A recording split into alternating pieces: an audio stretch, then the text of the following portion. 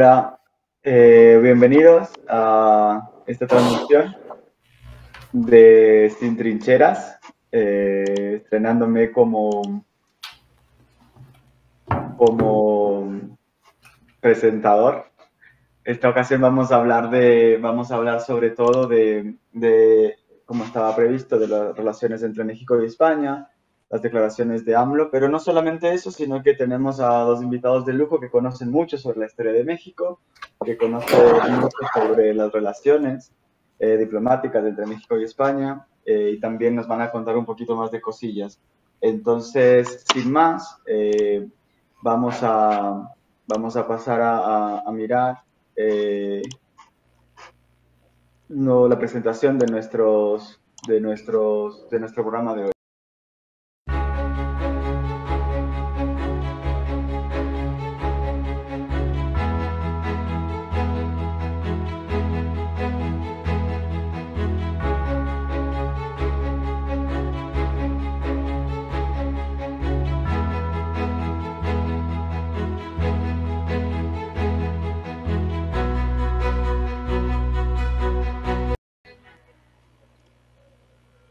Eso. Eh, bienvenidos a, este nuevo programa Sin Trincheras. Hoy vamos a hablar de las relaciones entre México y España, principalmente debido a las mm, recurrentes, diría yo, declaraciones de AMLO, usualmente con, con el asunto del, de la monarquía o de España en general. Así que en este sentido, pues parecía relevante empezar a hablar un poco sobre el tema. Entonces nos acompaña eh, Julio Martínez, que es periodista, y Eivon Maya, que es doctora en, en, humanidades, y nos van a contar un poquito sobre ello.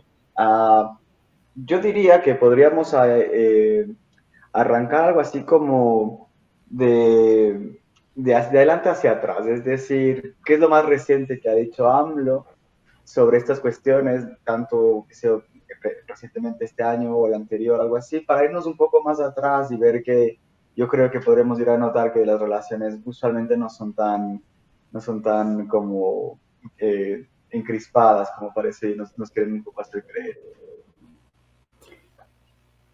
Ok. Eh, ¿Quieres empezar, Ivonne? Bien, eh, bueno, buenas tardes acá en México, buenas noches allá en España. les agradezco mucho la invitación a Sin Trincheras. me da mucho gusto compartir este espacio con este, Julián Martínez, a quien tuve el gusto de conocer en la Universidad de Salamanca.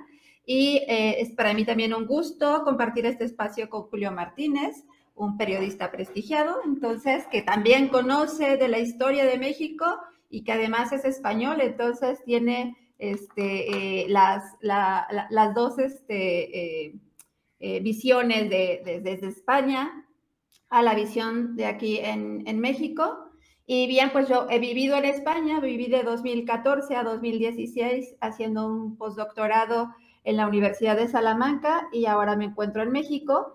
Entonces creo que todo esta, toda esta situación de las declaraciones de AMLO, sobre todo, tomaron mayor relevancia a partir justo del primero de marzo de 2019, que eh, AMLO eh, emitió una carta para su majestad el rey Felipe VI España, en donde eh, la carta pues pedía que hubiera ahí una, este, una pedida de disculpa a los pueblos originarios de México por las situaciones que ocurrieron hace más de 500 años con la conquista de, México, a la llegada de Hernán Cortés y todas las violaciones que hubo a este, los derechos humanos y a las leyes de ese, de ese momento.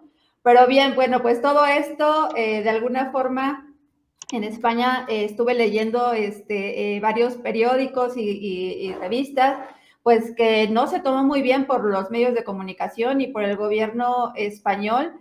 Y bien, yo creo que una, una disculpa, este, pues no se, no, se, no se pide que te, que te pidan la disculpa, sino que una disculpa nace del corazón de las personas, el pedir disculpas, si no está en ese momento este, eh, eh, con ganas de, solicitarse la disculpa, esta no, no se pide.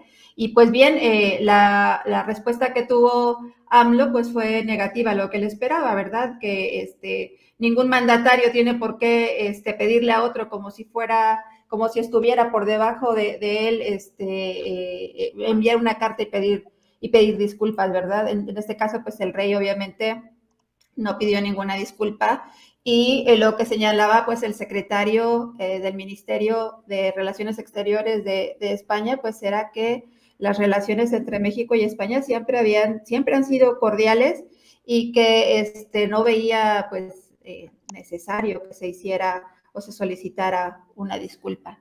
No sé aquí Julio qué opina con respecto a esta a esta carta. Sí, en este sentido yo creo que hay que diferenciar, por un lado, la política exterior tradicionalmente desarrollada por el PRI, por todas las administraciones eh, priistas, que siempre ha sido una política exterior eh, bastante de acogida. Entonces, eh, en este sentido, por ejemplo, cabe destacar la, recepción que hubo de, todo el exilio republicano español tras, tras la Guerra Civil Española y durante, porque el primer barco llegó en 1937, y luego un poco la, política que, está teniendo, que, emprendió en este caso López Obrador, eh, que si bien a, a, generales, en líneas generales, sí que, sí que continúa con este principio de no alineación en, conflictos internacionales y también de multilateralidad, pero al mismo tiempo eh, también ha profundizado en el, en el ámbito eh, anticolonial o antineocolonial, ¿no? Entonces, digamos que en ese rasgo de, política internacional, de internacionalismo, se debe incluir eh, esta, esta, petición de disculpas, ¿no? ¿Qué es lo que pasa? Que eso también se mezcla con, con, las, sinergias internas, por decirlo de alguna manera. Es decir, cada vez que el, gobierno de, de López Obrador tiene problemas internos, eh, saca a relucir también la política internacional, en este caso España y, o Estados Unidos. Evidentemente hay que, eh, realizar un, hay que implementar un ejercicio de, memoria y de acercamiento y de conocimiento de la historia. Eso es innegable, por supuesto, hay que hacerlo, hay que hacer ese ejercicio de memoria, pero este, este ejercicio de memoria creo que no debe empezar por esta carta de disculpas, es decir, cómo comenzar la casa por el tejado. Primero lo que hay que hacer es profundizar en los intercambios educativos, científicos y culturales entre ambos países. Y luego ya como colofón, efectivamente, eh, pues a lo mejor una, esta petición o lo que fuera.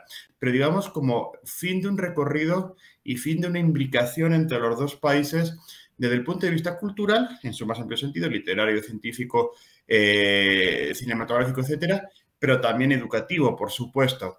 Eh, sí que es verdad que durante, los, durante las últimas décadas, esta es la política que se seguido realmente. Por eso eh, choca quizá un poquito más esta petición de disculpas eh, oficial por parte de, de, la administración López Obrador. Pero claro, es decir, yo no niego esta petición de disculpas, pero creo que primero hay que hacer una serie de trabajos previos de acercamiento y luego ya eh, esta petición es muy posible que salga ya de forma natural. Eh, ¿Qué, opinas, Ivonne, del, del, asunto del uso político de la disculpa pública? Porque yo también cuando, cuando lo escuchaba por acá me daba esa impresión, me daba la impresión de que había una reivindicación, me parece, mm, muy arraigada en, las raíces de América Latina eh, y, muy, y, muy, muy fácil de echar mano de allí, ¿no? Como hay mucho componente emocional y muchas cosas así, pero no es casual, o sea, estamos hablando de políticos profesionales, entonces ocurre en ciertos momentos muy específicos, ocurre en ciertos contextos donde eh, las, las, cosas al interno van mejor o peor, etcétera. ¿Qué, qué opinas de, que haya habido un uso estratégicamente político de la petición de las disculpas y en general de ese tipo de declaraciones de, de Sí, justamente estaba este, revisando que varios autores señalan que se está haciendo un uso político de esta eh, llamada reconciliación histórica que señala nuestro presidente Andrés Manuel López Obrador, precisamente, bueno, pues eh, con fines de eh, este, tener una mayor, este, posición, un mayor posicionamiento en la, en la política en México si bien lo que quiere este, probablemente nuestro presidente es romper con estas eh, situaciones que sucedieron durante la época del partido hegemónico, del Partido Revolucionario Institucional, que estuvo durante, como bien lo se llama Julio, durante varias décadas, este, siete décadas en el, en el poder. Entonces, durante ese momento, pues, no, no, hubo ninguna este, fricción o este, ninguna situación eh, que rompiera un poco eh, la, buena relación que se tiene con, que, se tiene con España. En este caso, eh, actualmente el presidente Andrés Manuel López Obrador señala que este es el sexenio de la reconciliación histórica, el sexenio en donde se está llevando a cabo la cuarta transformación de México. Entonces, para ello, señala que es necesario reescribir la historia porque se señala que la historia en México fue escrita desde la visión del vencedor y no desde la visión de los vencidos.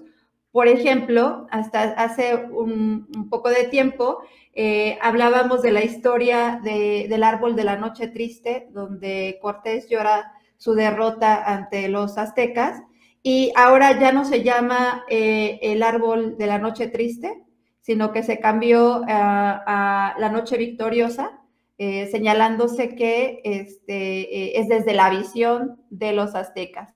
Entonces, sí se está haciendo un uso político también de esta, esta reconciliación histórica que, llama este, nuestro presidente Andrés Manuel López Obrador.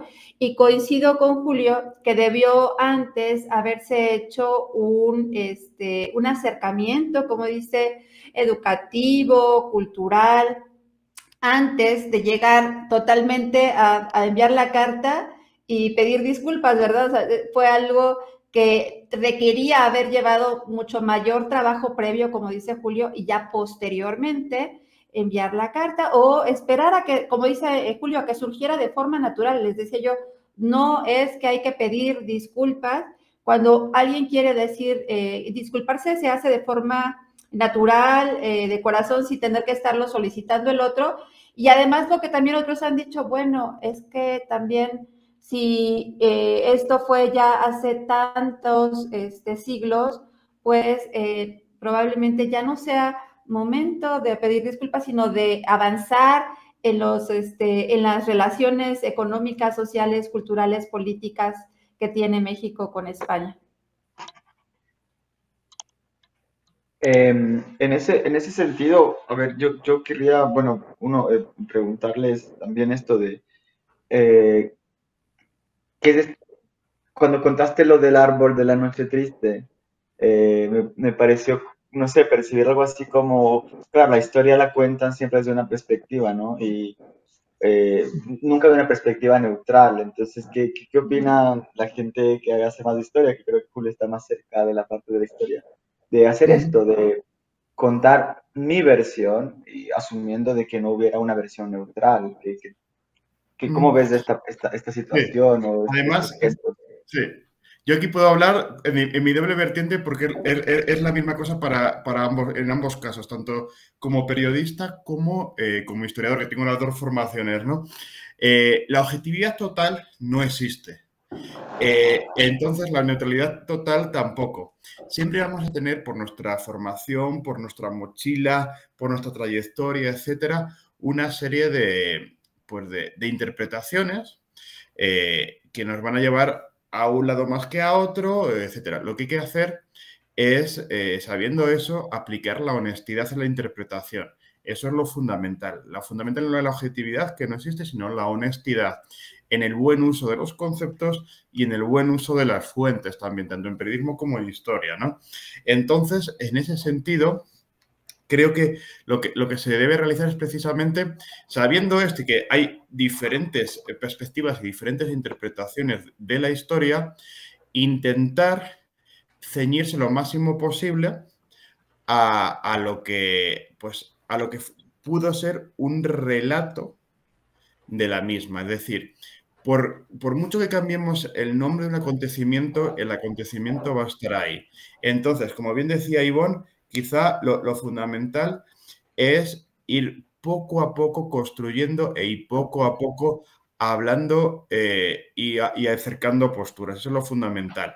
Entonces, simplemente eh, hay que hacer este análisis, esta interpretación y, como yo, insistí anteriormente, no comenzar la casa por el tejado, sino que toda la petición de, disculpas, etcétera, sea el final del camino, que es lo fundamental, y sea además un motivo eh, más para dialogar entre dos pueblos, entre dos países, que realmente no tenemos tanto de distintos. Todo lo contrario, yo siempre cuento la anécdota que yo en este caso, otra vez mi parte de historiador, siempre digo que en México yo he descubierto que la gente sabe más de historia de España que muchos españoles, con lo cual eh, esto es algo a tener en cuenta y, yo creo que estimularía a fomentar.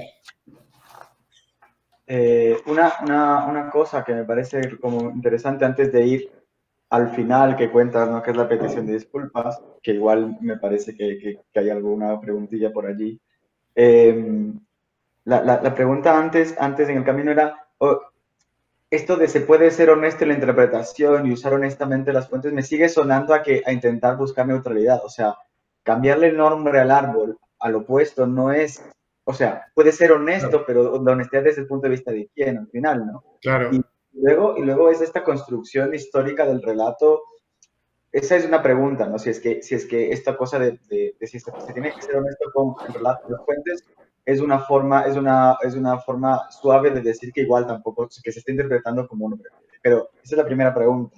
Y la segunda era que si es que, eh, o sea, qué impacto real, o sea, qué impacto real, real y cultural, si sirve de algo reinterpretar estas partes. Es decir, al final del día, hoy por hoy, el mexicano promedio, ¿le sirve que le cambien del nombre al árbol o no? Al árbol del nombre, perdón, que le cambien al árbol de nombre o no eso, no sé quién quiera. Sí, eh, eh, quiero este, comentar que eh, totalmente lo, que comentan, pasamos entonces de la visión del vencedor que había escrito la historia, ahora a cambiar la historia del vencido, y entonces nos falta ahí hacer una historia, como dicen, neutral, una historia objetiva que tome en cuenta las dos partes sin que esté redactada desde la visión del que ganó o desde la visión del que perdió, sino que cuesta mucho trabajo, ¿verdad? Ser objetivo.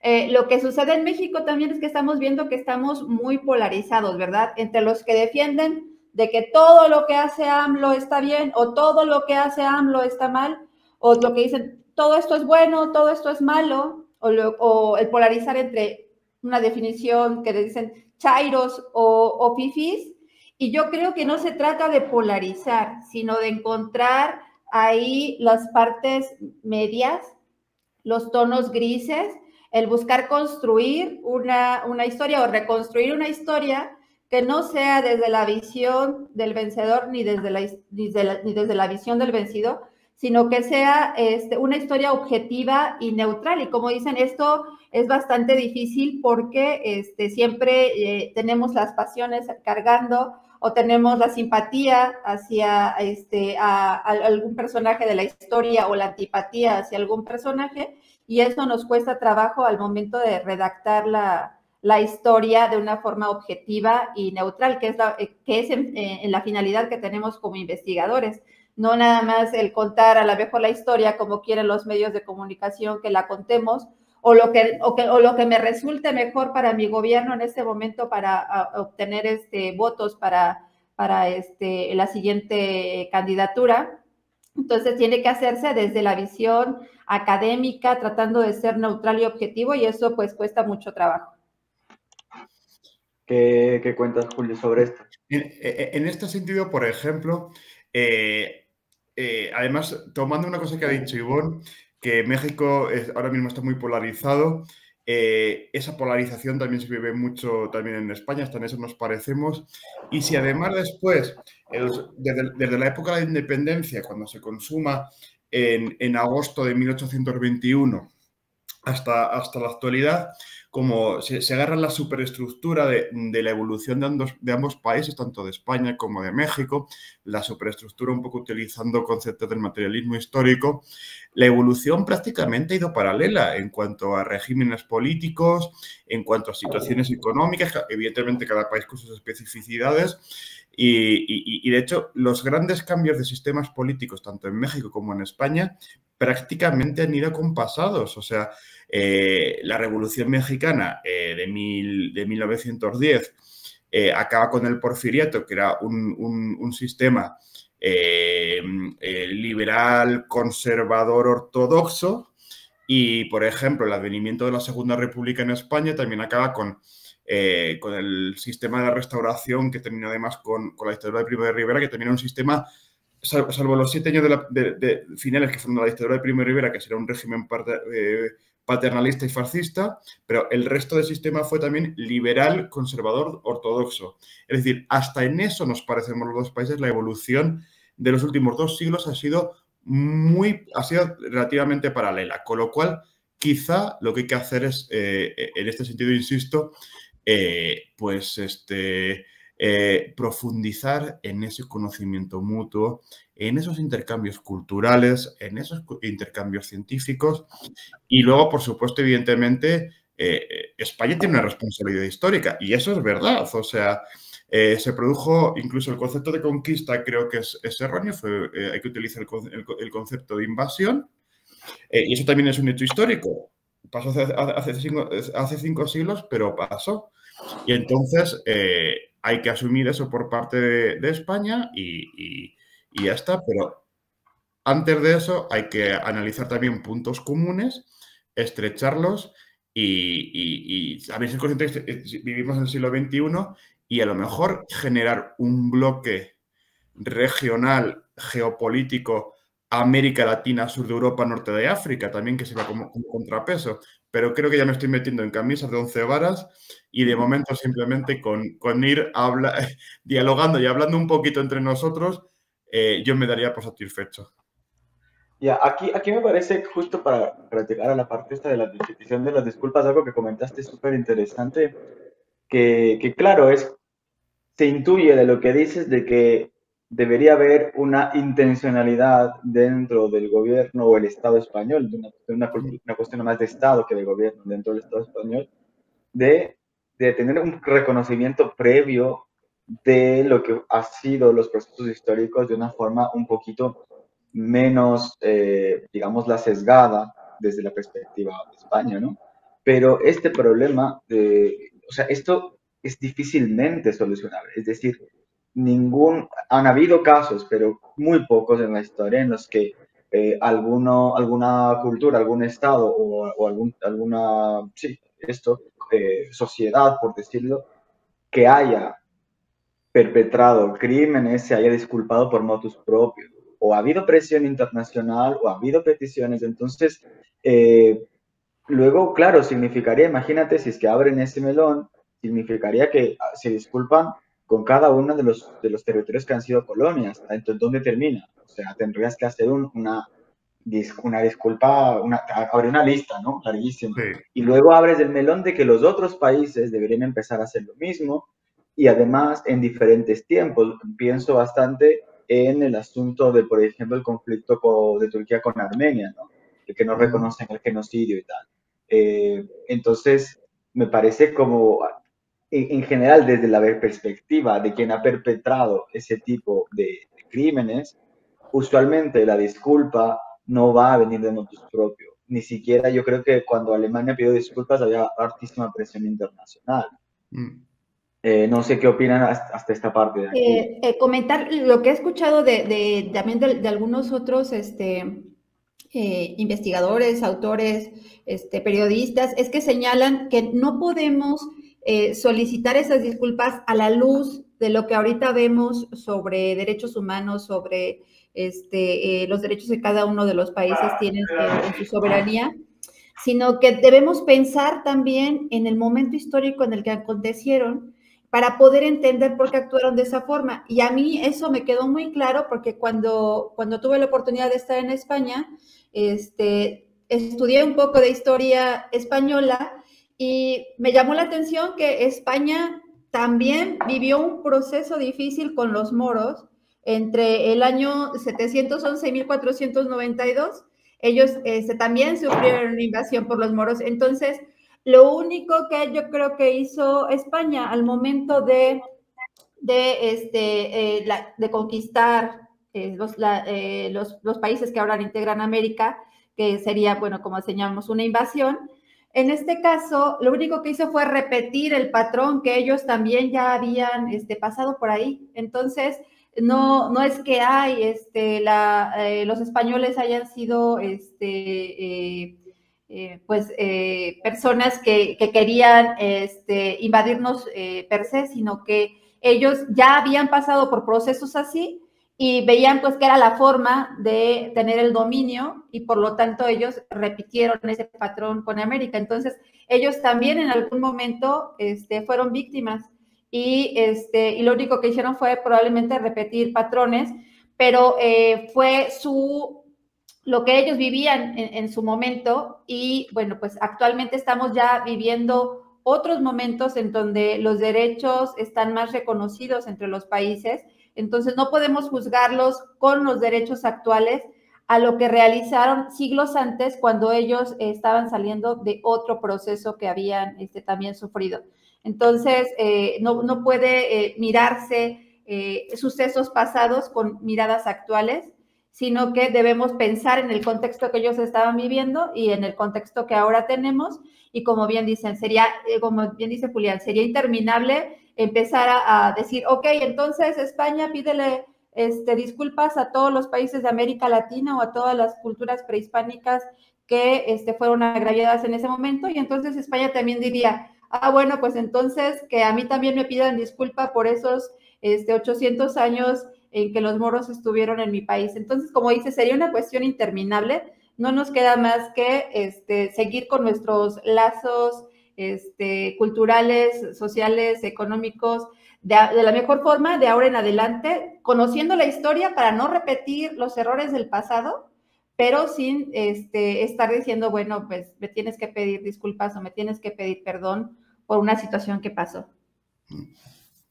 Sí, en este sentido, por ejemplo, eh, evidentemente, es, cuando, se estudia la licenciatura en historia, es lo primero que siempre dicen. Es decir, no se puede juzgar los hechos pretéritos solamente el día del presente, porque es que eh, se, incurriría en una aporía. Entonces, evidentemente hay que comprender el contexto histórico del que se producen, ¿verdad?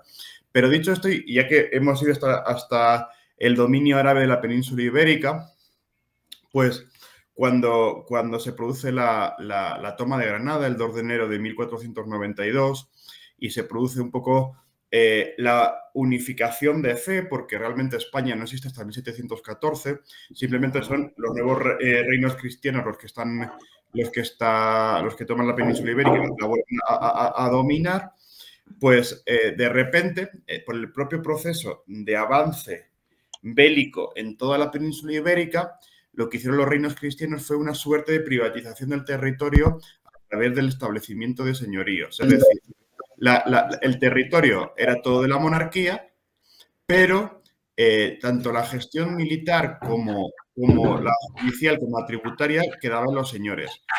Cuando el 2 de enero de 1492 finaliza este proceso bélico en la península ibérica, el reino de Castilla, que, es el, eh, que era el predominante, se encuentra eh, en su interior con un montón de, señores en armas y militarizados que podían cuestionar la, autoridad del rey. Entonces, eso, digamos que se deseó, se deseó echar a estos nobles en armas de la, de la, península ibérica o buscarles una salida para que no cuestionasen el, el poder real lo que unido a la necesidad de buscar nuevas rutas comerciales eh, hacia Oriente, pues que todo el territorio europeo estaba también muy inestable, es lo que llevó a, mandar eh, pues tropas y, exploradores hacia, hacia lo que sería hoy el continente americano, que en Europa no se conocía, no se tenía fe de este continente americano, en principio, o por lo menos las grandes monarquías, y es lo que llevó también, lo que produjo la invasión de América. Y luego ya por, último, también hablando del tema memorístico y demás, eh, evidentemente hay que pedir disculpas y hay que hacer memoria. Pero también, como, bien decís, eh, también se puede llevar incluso dentro del propio territorio, propio territorio eh, mexicano, pues también se, puede, se podría producir un proceso muy interesante que sería, hay que tener en cuenta que el, imperio mexica o azteca era el que, el que digamos, ocupaba la zona centro de, Mesoamérica, de, la zona de lo que hoy sería Ciudad de México y para el sur. Pero también tenía sometidos a otros pueblos, los tlaxcaltecas, incluso parte de los mayas, etc. Con lo cual ahí también se podría producir ese proceso memorístico que no está mal, pero primero, insisto, pues como con España hay que hacer ese trabajo previo de, análisis. Eh, sí, justo ahora miraba, acabo de, acabo de, estaba mirando, esto las disculpas me vino porque también había visto una, un diagrama que sacó esta cuenta del orden mundial o algo así, no sé si lo siguen en Twitter. Y nada, pues resulta que el, el, el país que más se ha disculpado es Japón con 58 veces, luego Alemania 30, Reino Unido 22, Estados Unidos 21, Canadá 16. Eh, son disculpas políticas por violaciones de derechos humanos sobre el nombre de un Estado.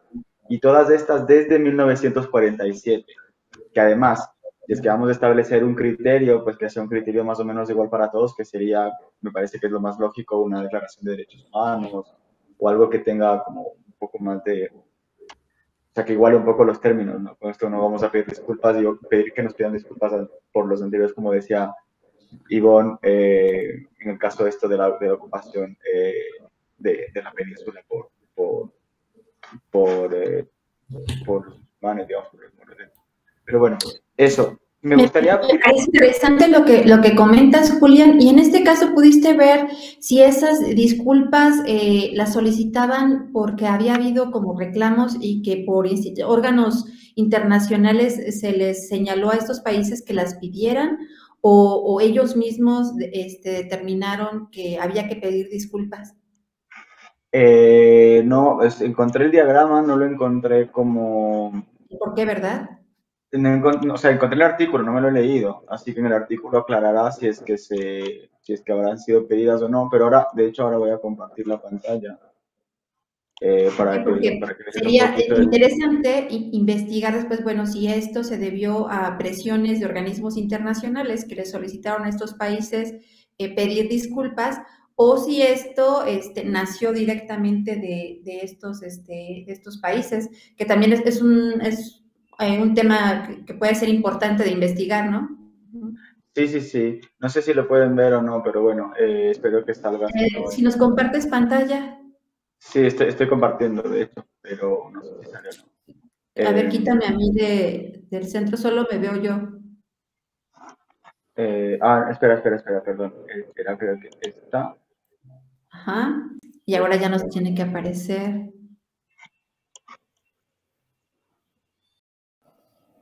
No, no sale, no importa. Eh, en cualquier caso, pues ya se los, se los paso la, la, este, este, diagrama me parece súper interesante y el artículo también.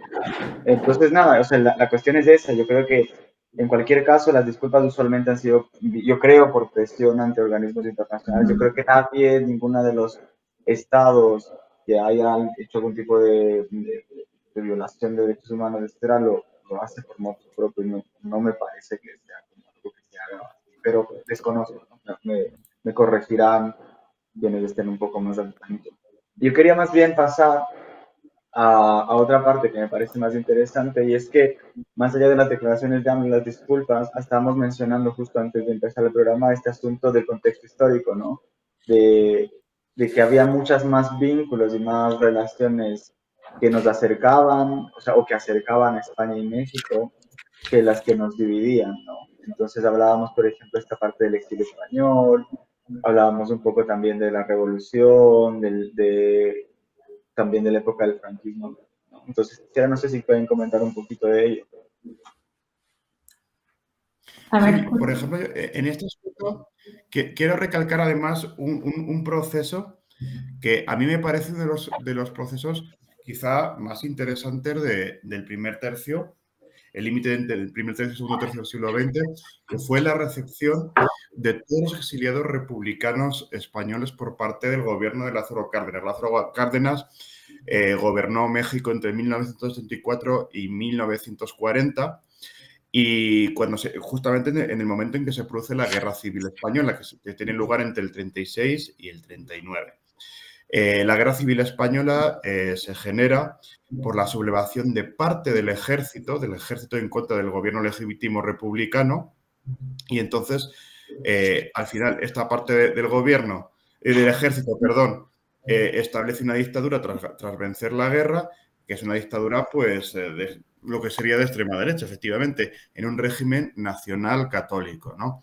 Entonces, mucha parte eh, de los españoles se tuvieron que, exiliar para no ser represaliados. Entonces, en esa parte de, españoles que salieron del país, se encontraron un grupo de, muy importante que fue hacia México. El primer buque que llegó fue en junio del 37, si no recuerdo mal la memoria, todavía está produciéndose la guerra, y Francia al puerto de la Veracruz, ¿no?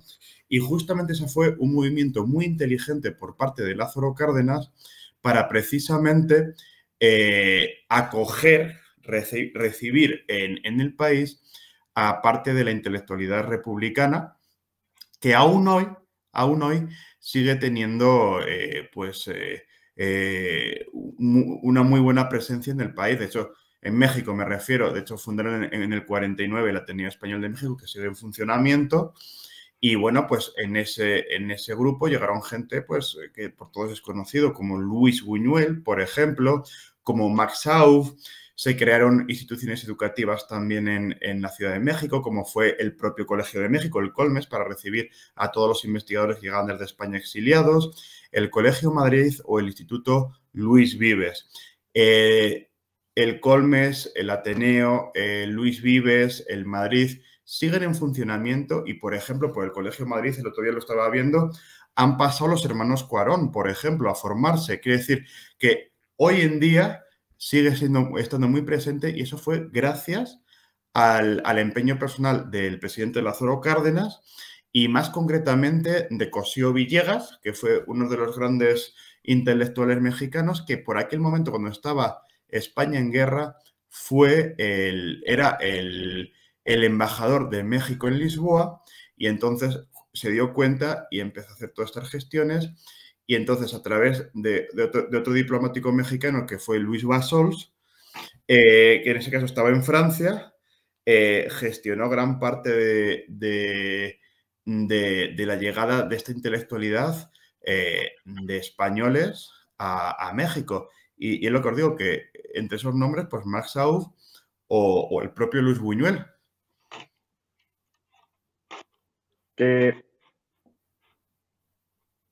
Perdón, ¿qué, cuenta, qué, opinas Maya sobre esto que estamos diciendo? De los diferentes eh, momentos de relaciones entre España y México.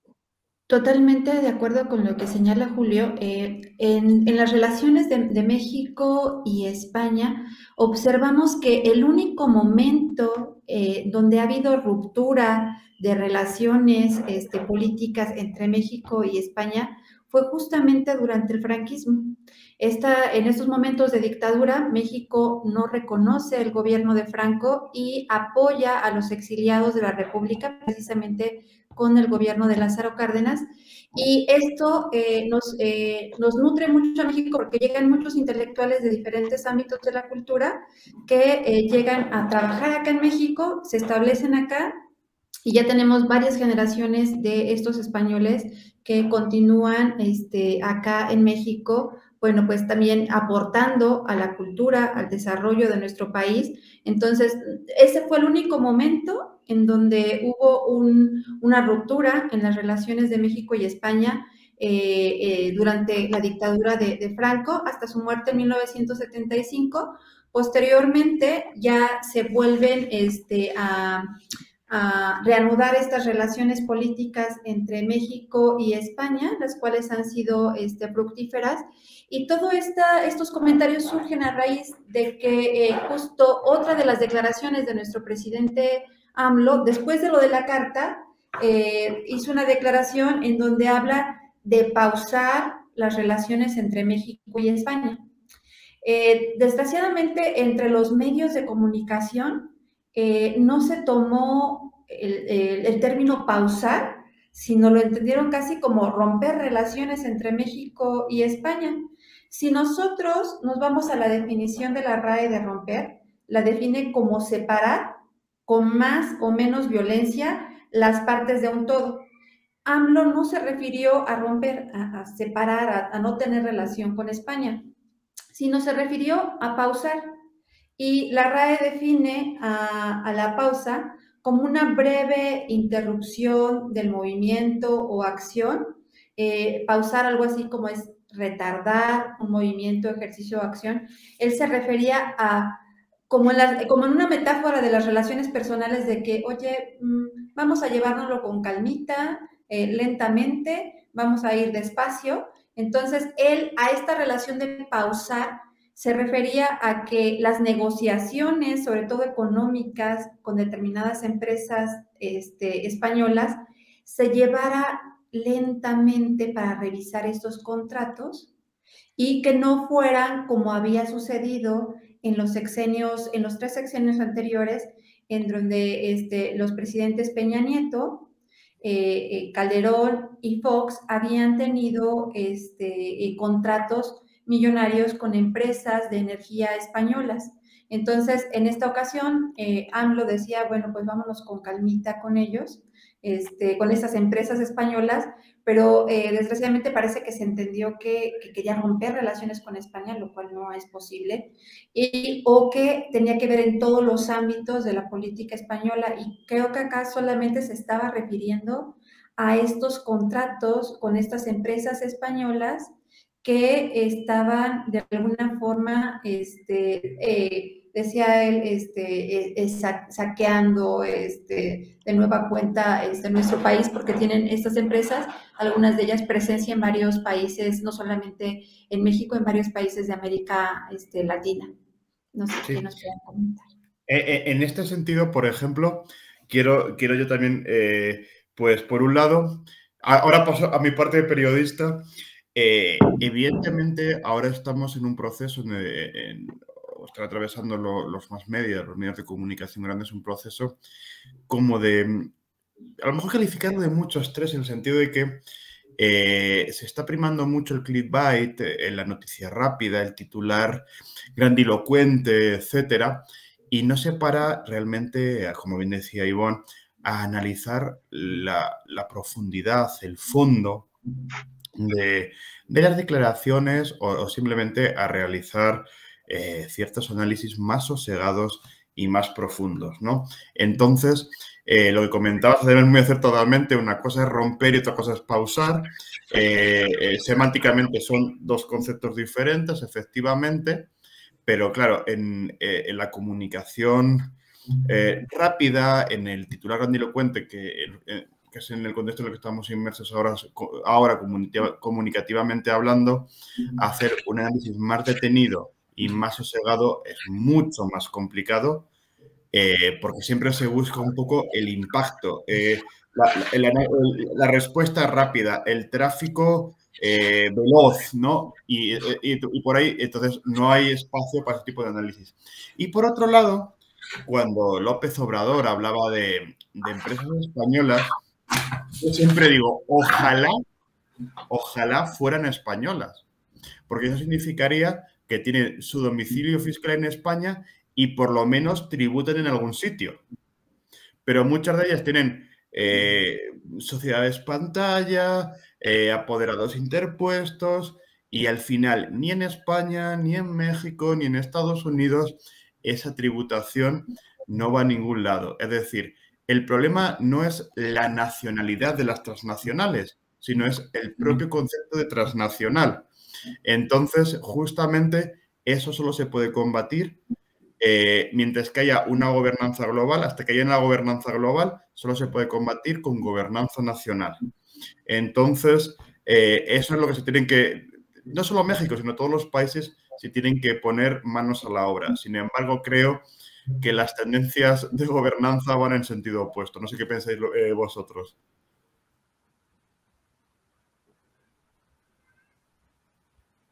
De la gobernanza y tal.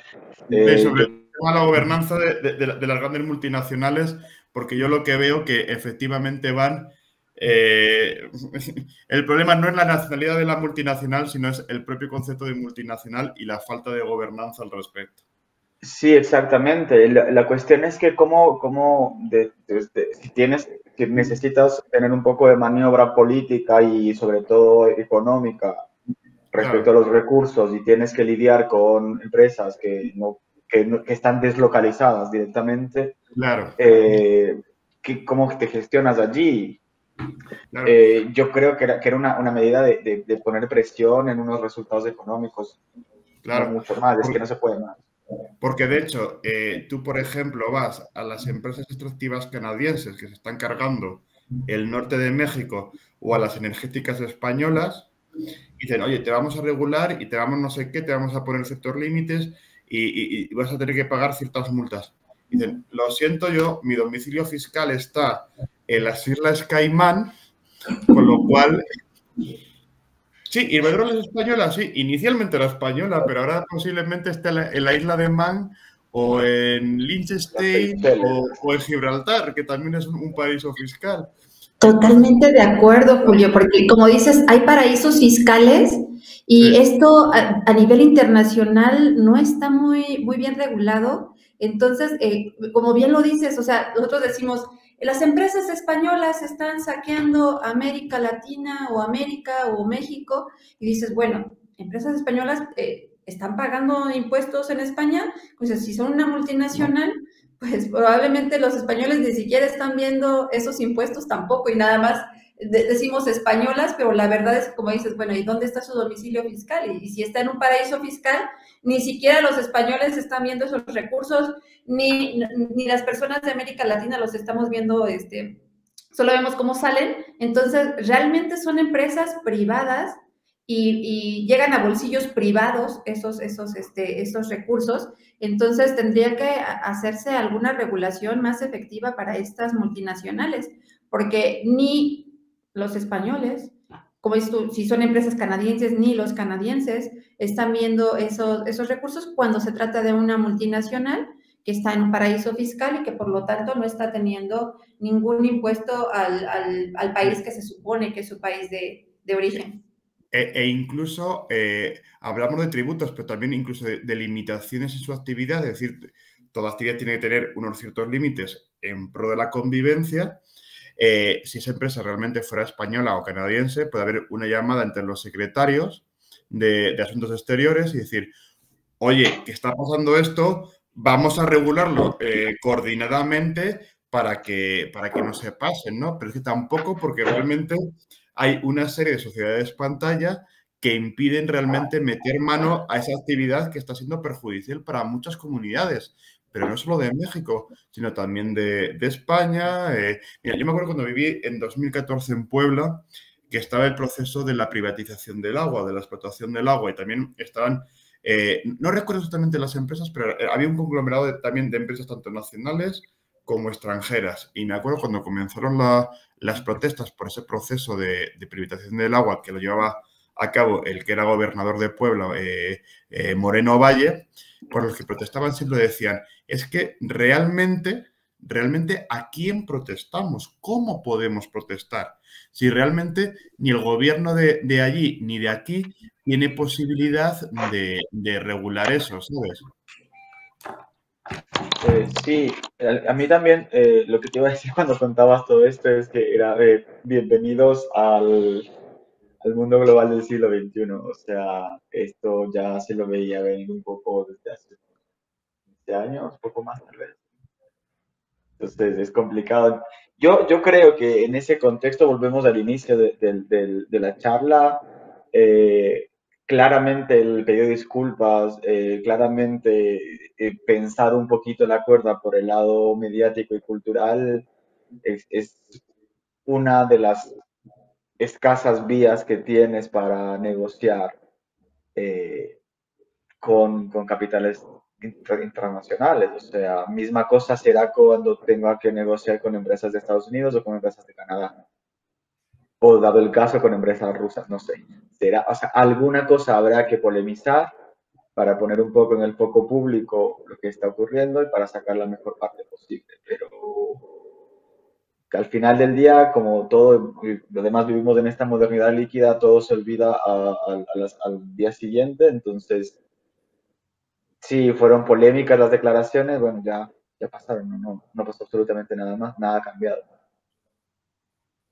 Además de que las relaciones entre México y España no se pueden en ningún momento ya este, terminar porque vemos que realmente este, en México eh, tenemos ya realmente mucho ADN eh, eh, español. Estaba revisando este, cifras y en nuestro país, cuando sucedió la conquista, la invasión, en posterior ya a 1570 hay un recuento de cuánto teníamos de población mestiza y entonces en 1570 solo el 0.5% era mestizo en México, eh, bueno, Nueva España. En 1810 ya el 40% era mestizo pero eh, en los datos de 2013 que nos dan en un estudio que hicieron Gabriela Martínez y Héctor Rangel en el impacto del mestizaje en México, nos dicen que ya el 93% somos mestizos, entonces somos una mezcla de españoles,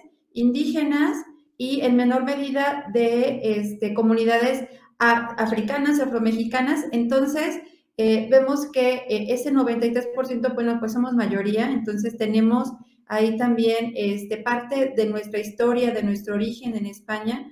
Por lo tanto, culturalmente, económicamente, este, siempre vamos a estar vinculados mexicanos y, españoles. Y es algo que no podemos eh, romper porque ya viene de, en nuestra naturaleza, en nuestro origen, en nuestra historia y lo que nos queda es construir relaciones pacíficas entre ambos países eh, que no sean sesgadas ni polarizadas, que no veamos todo como blanco o negro, decía que hay matices, hay cosas que este, se pueden arreglar y como dice Julián, no hay nada perdido, ¿no? De aquí hacia adelante a restablecer este, nuestras relaciones de la mejor forma posible para el bienestar de nuestros compatriotas este, que, están, que se encuentran en España o de España que se encuentran en México y que sigan las relaciones este, eh, pacíficas entre México y España.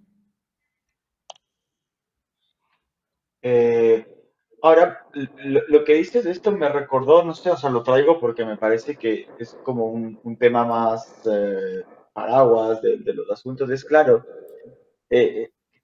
¿de qué forma se reconoce el vínculo entre, particularmente entre México y España, pero yo diría como entre España y, América Latina, ¿no? Y todo el mundo de habla hispana en general. Y me recordó a este evento que fue hace unos, puede ser unos dos años, cuando Vox empezó a, mover una, cosa que se llamaba la iberósfera, ¿no? En la iberósfera lo que se reivindicaba era esta, esta, esta, esta mezcla ya cultural que tenemos todos y tal, pero me parecía muy, al mismo tiempo muy, muy peligroso, no sé, incluso un poco, un poco cínico porque justamente eh, que lo reivindique alguien que está en contra de recibir inmigrantes y cosas así, era una cosa para mí muy llamativa, ¿no? Y, justamente, justamente, son reivindicar eh, una, una, cultura común en Iberoamérica, que, yo creo que la iberósfera no existe, sino que existe Iberoamérica, tenemos más, más cosas en común, reivindicar una historia común eh, significa también avalar el relato de las otras partes. Y el relato de las otras partes es un relato disputado. En México, lo, justo lo que hablabas de esta, este cambio de nombre del árbol, eh, lo que en América Latina en muchos países se ha cambiado el 12 de octubre por el día, se llamaba el Día de la Raza o el Día de la Hispanidad y ahora se, ahora se llama de otras maneras. Eh, entonces es como, o sea, en, el, en, el, momento en el que nosotros, eh, cada país de América Latina, cada, cada pueblo latinoamericano, eh, reinterpreta su historia, ¿no? Y en el momento en el que tú aceptas que tenemos una, una, una, cultura común en Iberoamérica, tienes que aceptar la reinterpretación de la historia de las otras partes con las cuales tienes historia en común. Y no es algo que haga en ese sentido eh, Vox al momento de, reclamar esta parte de, de, la iberósfera, ¿no? Eh, entonces eso, o sea, yo creo que sí es cierto que tenemos muchísimo en común y que estamos ya, eh, que, el mestizaje es un, es un, hecho y que estamos ya bastante mezclados. Yo no, no yo me parecería exagerado reclamar pureza de, de, más del 90% de la, de la, población hispanoamericana, incluida, en España, eh, pero al mismo tiempo creo que el mensaje ese, yo por lo menos opino que habría que llevarlo con cuidado, en tanto tienes que aceptar la, la reinterpretación de, de, la historia por todas las partes, ¿no? Porque la, la historia que, la historia que que se, requiere reinterpretar es justamente esa, es justamente la parte en la que, hoy aquí hubo un genocidio, acá hubo un dominio, acá hubo, hubo violencia, acá hubo una parte de historia que, nos demuestran como si hubiera sido que nos trajera una civilización, ¿no? Eh, y me parece importante esa parte, no sé qué, qué opinas sobre esto. En, en, el caso, por ejemplo, de Vox, no hay que olvidar que es, se trata de un, un partido político de, extrema derecha y por tanto hipernacionalista. Y justamente cuando se mezclan todo, entre estos procesos, el, eh, en principio el nacionalismo, pero ya el nacionalismo en exceso ya es un problema muy importante que siempre va a corromper todo. Pero además, el, asunto de la, de, la, de la, iberosfera que comentabas, este, Julián, eh, se basa en, un concepto que, ideó en los años 30 José Antonio Primo de Rivera, que era la unidad de destino la universal, es decir, eh, volver a reunir a España y sus antiguas colonias, pero siempre con el predominio de España, que es un concepto pues prácticamente neofascista, porque no habla de un diálogo eh, desde la igualdad, sino habla de un diálogo desde la dominación. Con lo cual, eh, eso no se puede permitir. eso no se puede permitir. Y en este caso sería desde la dominación de España, eh, como pasó en, el momento de, las colonias, ¿no? Entonces, eh, es, un concepto que no se puede permitir, pero también hay que ser consciente de, dónde viene, que es de un partido político, pues, de extrema derecha y, nacional, y, e internacionalista. Con lo cual, el problema de todo, la base de todo, de todos los problemas, es precisamente, y una vez más, eh, el nacionalismo, la construcción y la construcción de la otredad que hace el nacionalismo. Es decir, eh, yo como español o como mexicano, como alemán sea, soy mejor que el otro y por eso quiero dominarlo. ¿Sabes? Eso es lo que no, eso es lo que no, no se puede permitir de ninguna de las formas posibles y eso es lo que lleva un, eh, un nacionalismo en exceso, en este caso el de Vox. Totalmente de acuerdo con, Julio. Este, si nosotros nos vamos a las raíces etimológicas de qué quiere decir iberósfera, bueno, pues proviene de ibero, quiere decir que proviene de la península ibérica, y esfera, conjunto o, globalidad. Y bueno, pues esta, esta eh, eh, es un término que, está utilizando este partido eh, Vox, y vemos entonces que realmente es un término que se está este, utilizando desde, eh, eh, desde, desde, el punto de vista de la península ibérica, como sin, sin, tomarnos en cuenta a este, quienes vivimos en, en, América o en Latinoamérica. Entonces yo creo que es un tema que, como dice bien Julio, está acuñado, este, yo creo que desde, desde una, una visión muy peninsular y sin tomar en cuenta este, la visión eh, continental de, quienes habitamos este continente americano. Entonces, eh, no, me parece que Iberósfera este, nos defina a quienes, a quienes estamos en, el continente americano. Sí, y, con esto de nuevo, como se, se, vuelve a esta parte de las disculpas, ¿no? Ya desde la iberóspera no tiene sentido, o sea, desde la perspectiva esta de la dominación, eh, no tiene sentido como pedir disculpas porque no se ha hecho nada malo. Porque allí es lo que ha pasado son, cosas positivas. Es que eso justamente la reinterpretación está de...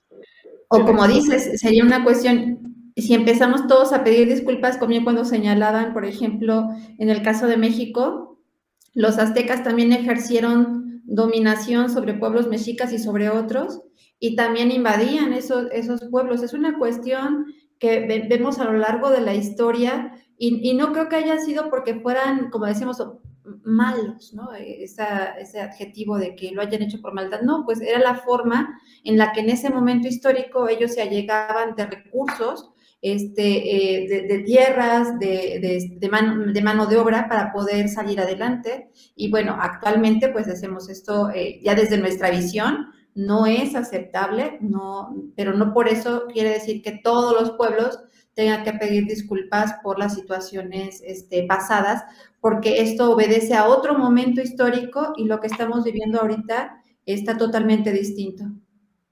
Mm. ¿Algo más que quieras contar, Julito? Pues por mi parte simplemente eso incidir que eh, yo además que vivo entre los dos países, eh, entre México y España no nos diferenciamos tanto. Una cosa que siempre me ha llamado la atención, que lo, que lo mencionaba al principio, es el conocimiento de la historia de España que hay particularmente en México, pero creo que es extensible a toda América Latina. Y, eso yo creo que eh, los españoles nos tenemos que poner las pilas, ¿sabes? Y, y mirar a Europa, por supuesto, pero también mirar hacia América Latina. Creo que es una cosa fundamental. Eh, hay continuidades históricas, lingüísticas, sociales, económicas muy evidentes. Yo en todo el tiempo que, he pasado en, México, eh, pues este, me he sentido como en casa, como en casa, tanto cuando he estudiado, como cuando he trabajado, ahora mi pareja también es de, es de allí, entonces pues este, la verdad que eh, uno se siente como en casa y, también mi pareja me, lo comentaba cuando ahora está por España y me decía, joder, es que eh, se, siente muy cómodo, no sé qué. Y la verdad que, que, no nos diferenciamos tanto, que hay muchas continuidades y que verdaderamente este, eh, creo que hay que poner en valor eso. Eh, que nos parecemos más que nos distinguimos. Después podemos debatir eh, del sexo de los ángeles, si queremos, como decimos en España. Podemos debatir de lo divino y de lo humano, pero creo que lo fundamental es poner en valor esas continuidades, eh, remendar la parte de la historia que hay que remendar, y eso es verdad, o sea, eso no, no exime de ninguna responsabilidad, ah, en este caso España. Pero insisto, creo que además en un mundo tan sumamente incierto e inestable como estamos sufriendo en los últimos años, hay que poner en valor esas continuidades y hay que, hay que estimularlas, hay que fomentarlas, hay que trabajar en común. Y creo que además, eh, en la, hay que, yo siempre llevo diciendo muchos años, yo predico en el desierto, hay que tejer un nuevo bloque geopolítico en el que hablemos el sur de Europa, el norte de África, América Latina.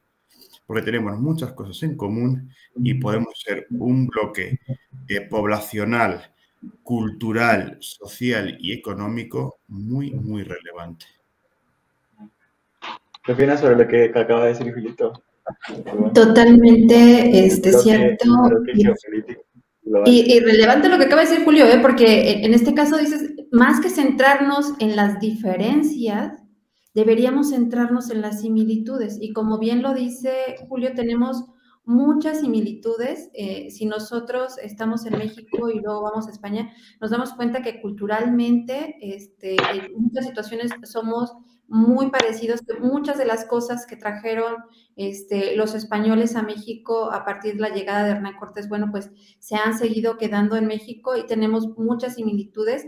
Y lo que habla de precisamente de este, de este bloque que se podría realizar, que este, suena muy interesante, del sur de España, que como bien dice, se parece mucho a esta parte de, América, este, en este caso América Latina, y lo que nos dice del norte de África, entonces sí, somos, somos países que hemos aportado más en cuanto a cuestiones este, de, materias primas, justamente al norte de Europa, al norte de, América, este, eh, del continente americano, y que también, bueno, pues eh, yo creo que hemos contribuido mucho a su desarrollo económico del norte de América, que en este caso es Estados Unidos y Canadá, pues mucho hemos contribuido a América Latina, aunque México es, este, pertenece a América del Norte, eh, tenemos muchas más totalmente similitudes con América Latina precisamente por nuestro idioma, por nuestra cultura prehispánica y casi no tenemos mucho que ver con eh, eh, Estados Unidos y Canadá.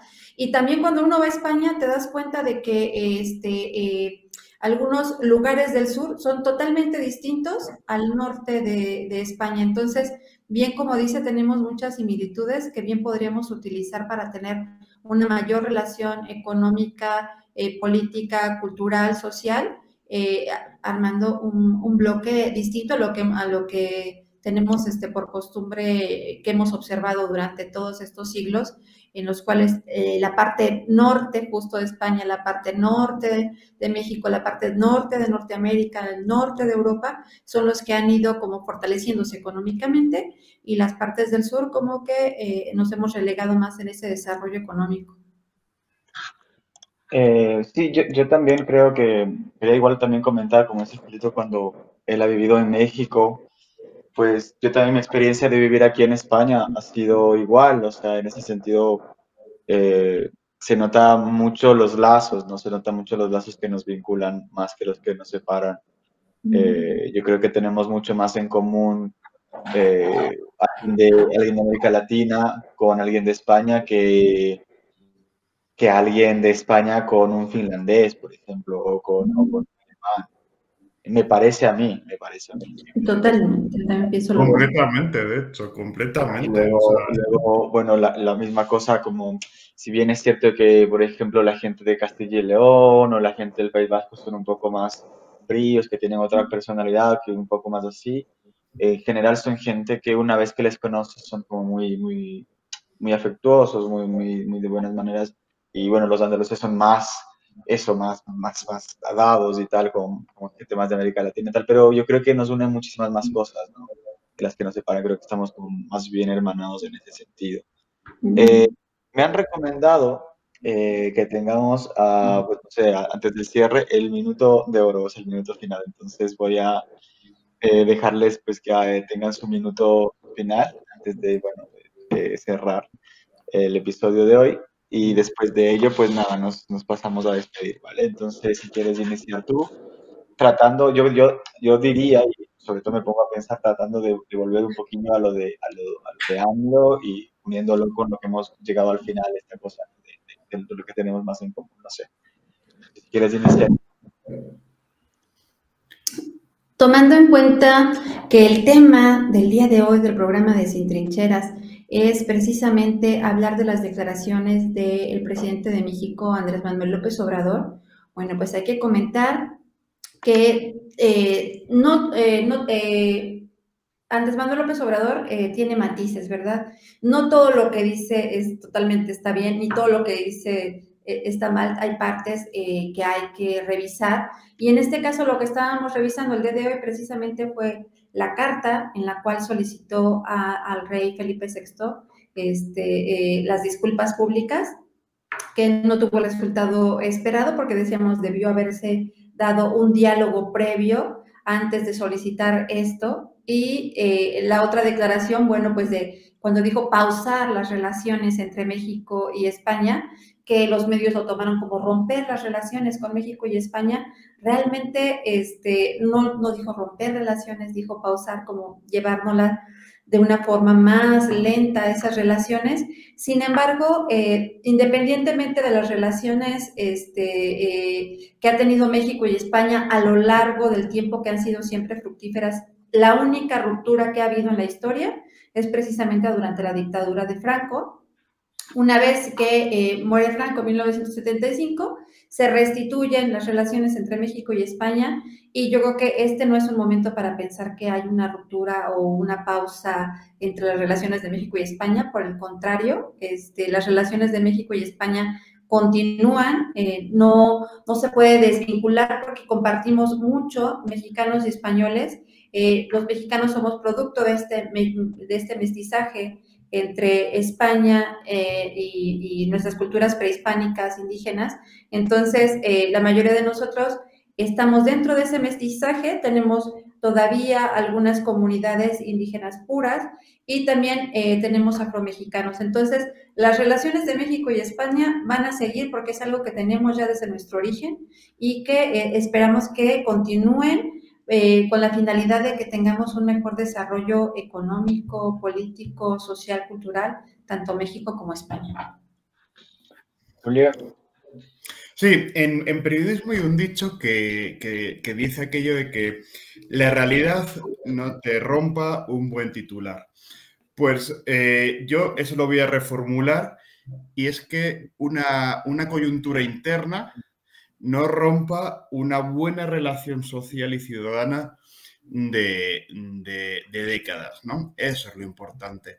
Es decir, hay que seguir estimulando la relación, el diálogo entre los pueblos, fundamental, estrechando eso y precisamente que sea el propio pueblo, la propia ciudadanía, la que al final al gobierno, a los gobiernos, tanto el de España como al de México, les exija esa profundización legal, esa continuidad de diálogo entre ambos países y sobre todo una definitiva normalización de la memoria entre los dos, de la memoria histórica me refiero. Eso es lo fundamental.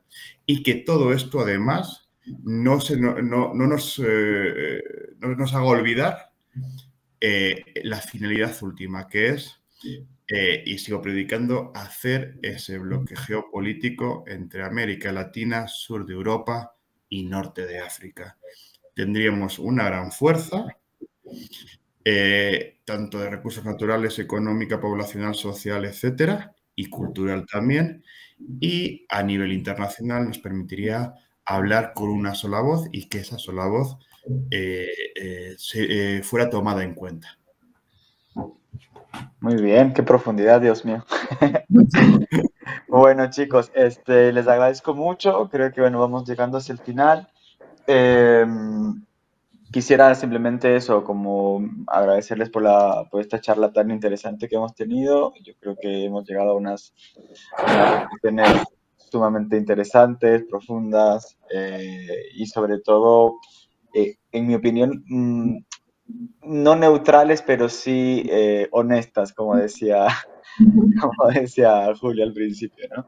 Así que bueno, eh, nada, eh, agradecerles de esto y pues nos vemos la próxima en, en, en algún otro episodio de Sin Trincheras. Muchas gracias. Gracias a ustedes. Adiós. Adiós.